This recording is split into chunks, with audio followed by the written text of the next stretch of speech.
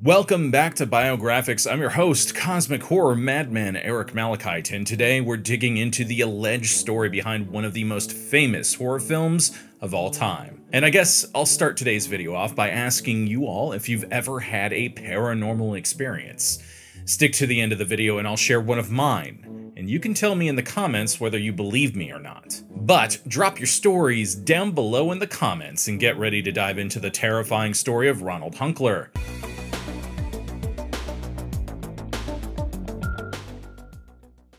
On May 10th, 2020, a former NASA engineer named Ronald Hunkeler died from a stroke a month before his 86th birthday. After his passing, he was mainly remembered for his contributions to space exploration, including work on the Apollo space missions and even a patent on a technology that helped panels withstand extreme heat. Then, about a year later, a magazine expose revealed the bizarre, sinister, and unique experience that Hunkeler endured when he was a boy, one which he kept private during his adult life. In his youth, Hunkeler was better known under the pseudonym Roland Doe, a 14-year-old boy who was believed to be possessed by the devil and underwent several exorcisms. His case, although it did not make any major national waves, still got mentioned in a few newspapers, including one small piece in the Washington Post, which was seen by a student attending Georgetown University by the name of William Peter Blatty. For whatever reason, the story stuck with Blatty, and two decades later, it inspired him to write a horror novel, which then got turned into a movie that changed cinema forever The Exorcist.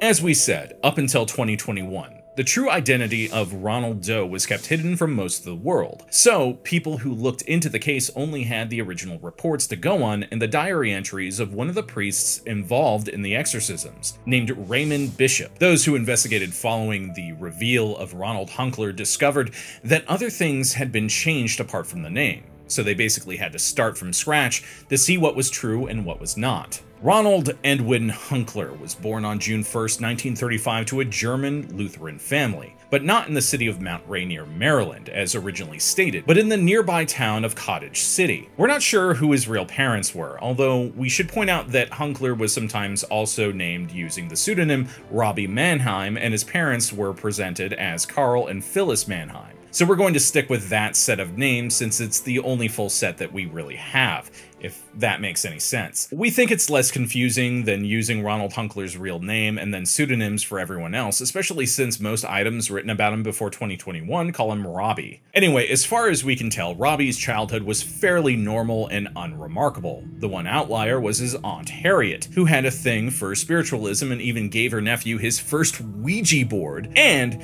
get this, explained to him that it could be used to contact the spirits of the dead. And then Aunt Harriet died and the weird stuff started started to happen. Things kicked off on January 15th, 1949. It was Saturday, so the parents went out for the evening, leaving Robbie, who was 13 at the time, at home with his grandma Wagner. While they were out, the boy and his grandmother kept hearing a dripping sound, although they were unable to find its source. By the time the parents came back, the dripping had stopped, only to be replaced by the sound of scratching, like claws against the wooden floors. Everyone assumed it was a mouse or a rat under the floorboards, but when they called for an exterminator, he couldn't find any traces of a rodent in the house.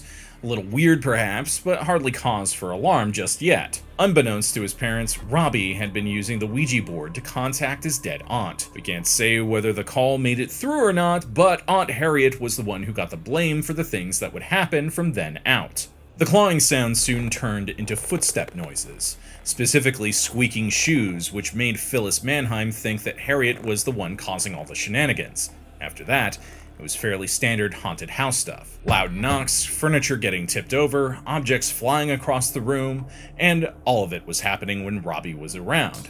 Nothing dangerous yet, though. The house didn't implode like at the end of Poltergeist, but it was the kind of thing that made you think a professional might be required. The question was, though, which professional? When you have a leak, you call a plumber. When you have ants, you call an exterminator. But when it comes to possible paranormal activity, including spooks, specters, and ghosts, who you gonna call? We all know the answer to that, but those guys weren't around just yet. So instead, the Mannheims called everyone else a physician, a psychologist, a psychiatrist, a psychic, and a priest. The first three seemingly didn't leave behind any records of their findings, apart from the psychiatrist reporting that the phenomenon was not genuine and that Robbie was just a normal kid. The physician found no physical problems with the boy, while the psychologist took Robbie to a mental health clinic where he performed tests to gauge his IQ, his memory, his imagination, and things like that for any kind of developmental problems. The psychic also said that nothing could be done, so that just left the priest, Lutheran Reverend Luther Miles Schulze,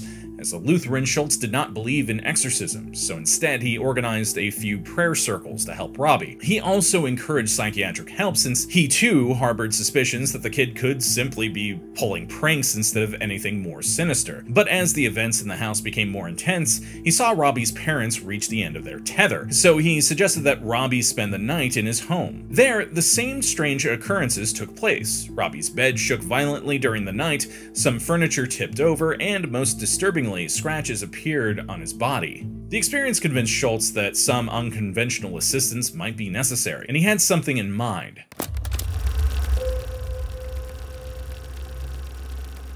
Although Schulze hopped aboard the exorcism train, so to speak, as a Lutheran, he was still in no position to conduct one. So he sent the Mannheims to a Roman Catholic priest named Edward Hughes. While all of Robbie's story can be viewed through a lens of skepticism, his time with Father Hughes is especially tricky since almost none of it can be corroborated. Hughes and his helpers kept no records, and all information came from second and third hand sources. But going by the standard version of events, Hughes checked Robbie into Georgetown Hospital sometime in late February 1949 under an assumed name and after receiving permission from the Archbishop, he tried performing the first exorcism. During the act, the bed kept moving around the room, and scratches appeared on Robbie's body as the boys started speaking in an unknown language.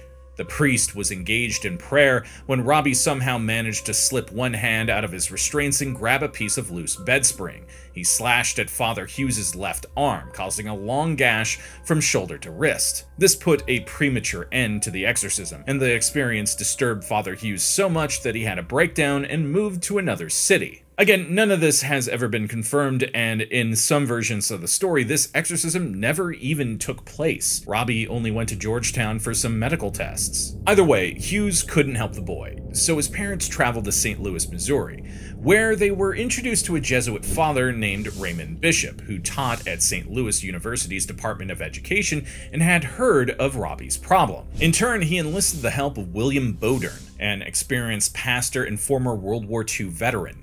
With permission from the Archbishop, the two of them decided to exorcise Robbie Mannheim. The ordeal lasted about a month, from March to April 1949, during which Bowdern and Bishop performed over 20 exorcisms with assistance from three or four other priests. They changed locations from the house where the Mannheims were staying to the Alexian Brothers Hotel, the rectory of College Church, and the Jesuits' White House Retreat Center.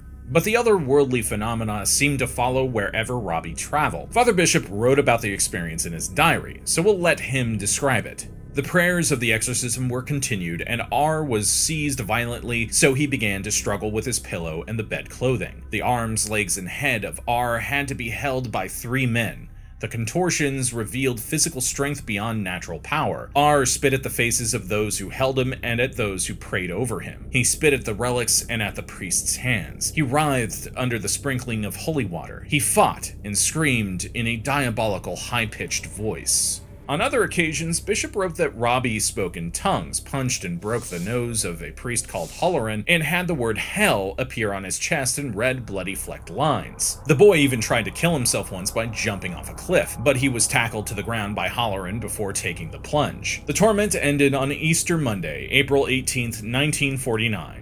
During that day's exorcism, Robbie began speaking with a wicked voice, claiming to be the demon who was possessing him, warning the priests that he would never leave the boy. But later that night, the voice changed again, this time to that of an adult male, purporting himself to be St. Michael, there to cast the demon out forever. Something which he did with ease, apparently, because mere moments later, after a few screams and proclamations, Robbie returned to his regular self and simply said, He's gone.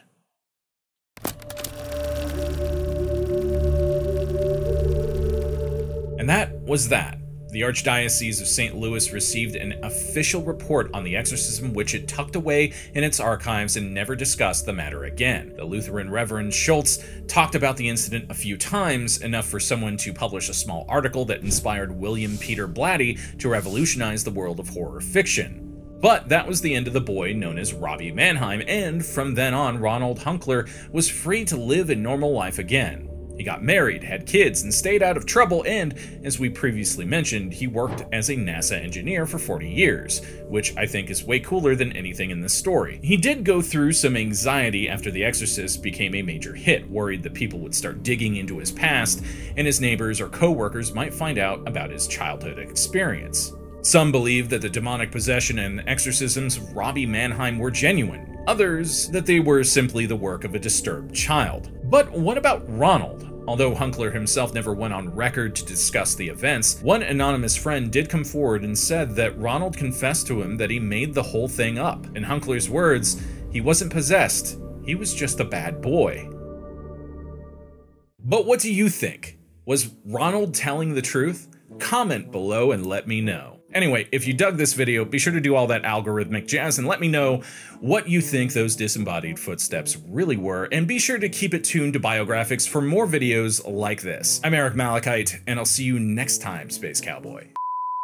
Oh, right, I promised to tell my own story, didn't I? Alright, so keep in mind this is a condensed version of this story, but when my friends and I were just out of high school, and we all fancied ourselves to be amateur paranormal investigators because, you know, why not? One of my friends, I won't name names, told me about a road up near Perris, California called Santa Rosa Mine Road. We all decided to drive up there for the night.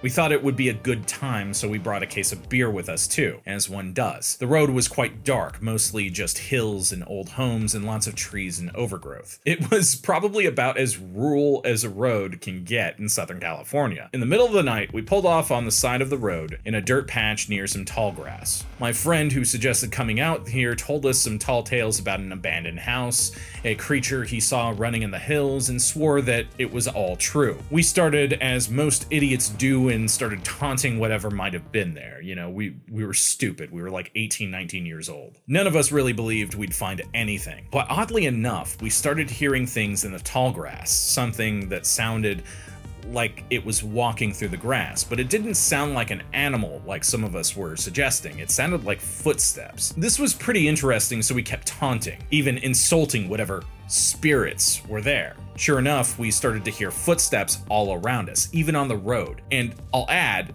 several feet from us. This spooked us pretty bad, and we jumped back in the car and drove off. I swore, and I still remember, I could hear something running after the car as we pulled away, like the footsteps got more intense as we drove off. To keep this short, we revisited Santa Rosa Mine Road many times. Each time we heard those footsteps felt like we were being watched, and there were other strange things, believe me. I, I don't have time to get into them, though. I don't know what it was that we heard. I don't know if they were ghosts or anything else, really.